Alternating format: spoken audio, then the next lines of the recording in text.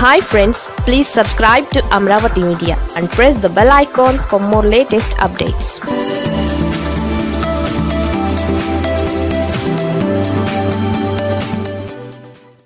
Lokesh అటు వెళ్ళగానే ఇటు పవన్ వారాహి యాత్రకు ముహూర్తం ఫిక్స్ జనసేనాని పవన్ కళ్యాణ్ ప్రజల్లోకి వస్తున్నారు. తన వారాహితో రెండు తెలుగు రాష్ట్రాల్లో పర్యటిస్తానని ఇప్పటికే పవన్ కళ్యాణ్ ప్రకటించారు. దసరా నుంచే ఈ పర్యటన జరగాల్సి ఉన్న వాయిదా పడింది. ఇక రెండు తెలుగు రాష్ట్రాల్లో ఎన్నికల కోసం పవన్ సమాయత్తం కావాలని నిర్ణయించారు.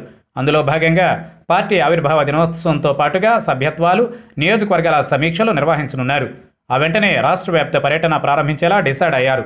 ఇప్పటికే టీడీపీ యువనేత లోకేష్ పాదయాత్ర ఏపీలో కొనసాగుతోంది. ఇక ఇప్పుడు పవన్ కళ్యాణ్ ప్రజల్లోకి వస్తుండటంతో ఇక రాజకీయంగా ఆసక్తికర పరిణామాలు చోటు చేసుకోవడం ఖాయంగా కనిపిస్తోంది. ఏపీలో ఎన్నికల వాతావరణం మొదలైంది. అధికార వైసీపీ ప్రధాన ప్రతిపక్షం టీడీపీ ఇప్పటికే అభ్యర్థులను ఖరారు చేస్తున్నాయి.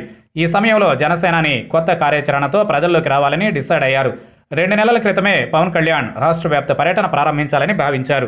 అయితే అంచనా వేసినట్లుగా ముందస్తు ఎన్నికలకు అవకాశం లేకపోవడంతో పర్యటన మరికొంతకాలం తర్వాత చేయాలని డిసైడ్ అయ్యారు. మార్చి పద్నాలుగున జనసేన ఆవిర్భావ దినోత్సవం ఆ రోజుకు. పార్టీ సభ్యత్వాలు స్థానిక నాయకత్వంలో చేయాల్సిన మార్పులను పూర్తి చేసేందుకు కసరత్తు చేస్తున్నారు. ఈ నెల పదవ తేదీన పార్టీ సభ్యత్వం పైన పవన్ కీలక ప్రకటన చేయనున్నారు. అదేవిధంగా ఈసారి పార్టీ ఆవిర్భావ సభ తిరుపతి లేదా విశాఖలో నిర్వహించే ఆలోచనలో ఉన్నట్లు తెలుస్తోంది. ఆ సభ నుంచే పవన్ రానున్న ఎన్నికలకు సమరశంఖం పూరించేందుకు నిర్ణయించారని సమాచారం. టీడీపీతో పొత్తు ఖాయమని భావిస్తున్న వేళ పవన్ కళ్యాణ్ ఆచితూచి వ్యవహరించాలని భావిస్తున్నారు.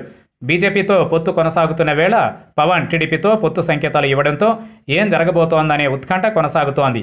తాజాగా పవన్ తాము ప్రస్తుతం బీజేపీతో పొత్తులో ఉన్నామని చెబుతూనే మూడు ఆప్షన్లను వెల్లడించారు. ఈ సమయంలో ఎన్నికల వేళ పొత్తులు సీట్ల గురించి నిర్ణయం తీసుకోవాలనేది పవన్ వ్యూహంగా సమాచారం. దీంతో ముందుగా నియోజకవర్గాల వారీగా సమీక్షలకు సిద్ధమవుతున్నారు. సీట్ల కేటాయింపులో తమ మాట చెల్లుబాటు అయ్యేలా మిత్రపక్షాలపైన ఒత్తిడి పెరగాలంటే అభ్యర్థులను ఖరారు చేయడం అవసరమని జనసేన భావిస్తోంది. ఇదే సమయంలో ఎన్నికల మేనిఫెస్టోను పార్టీ ఆవిర్భావ సభలోనే ప్రకటించేందుకు సిద్ధమవుతున్నట్లు తెలుస్తోంది. దీనికి సంబంధించి పార్టీ నేతలకు బాధ్యతలు అప్పగించారు. మార్చిలోనే నియోజకవర్గాల సమీక్షలు పూర్తి చేయనున్నారు. ఇప్పటికే సిద్ధమైన వారాహితో ఏప్రిల్లో పవన్ పర్యటన ప్రారంభం కానుంది. ఏపీతో పాటుగా తెలంగాణలోనూ పవన్ పర్యటన కొనసాగనుంది. ఏప్రిల్ పద్నాలుగున డాక్టర్ బిఆర్ అంబేద్కర్ జన్మదినం నాడు పవన్ తన వారాహి యాత్ర ప్రారంభిస్తారని సమాచారం.